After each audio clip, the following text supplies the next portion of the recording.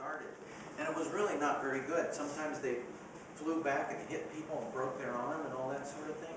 So Charles Kettering said, wow, we can take care of that. Neat, huh? This big old desk right here, that's you wanna turn your head down, just roll around?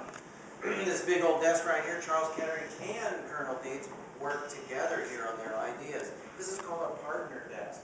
You could put a chair right here, one person sitting here, one over there. Wow, pretty neat, they could work together. And it's a huge big desk. Here, this big motor, you're saying, why is this big old engine here in this building, you know? Colonel Deeds got his name Colonel because he had that army rank, you know? He was in charge of aviation or flying machines in World War One. He didn't have a good engine. He got together with a couple people and he said, let's build an engine. This engine won the war for us, World War One. And they were built right here in Dayton, Ohio, through Colonel Deeds' efforts, opened the refrigerator